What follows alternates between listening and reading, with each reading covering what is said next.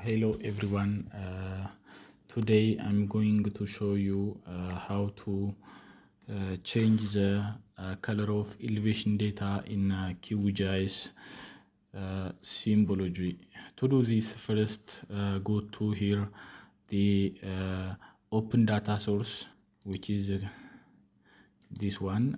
So from the folder click select the DEM the elevation data which is uh, so select this one and open it. Then I'm going to add the file in the QGIS window. Now we have the file. The file is added in the map window. Then right click on the added uh, DEM, uh, elevation data here on the layer panel. Then select property.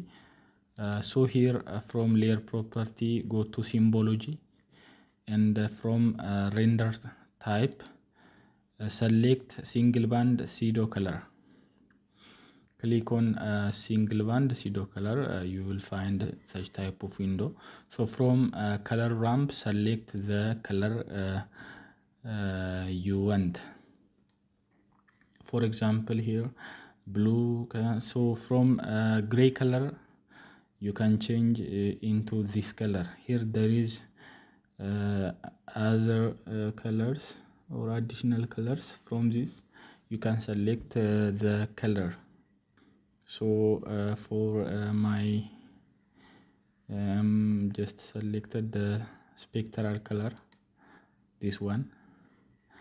Then uh, uh, apply. Okay.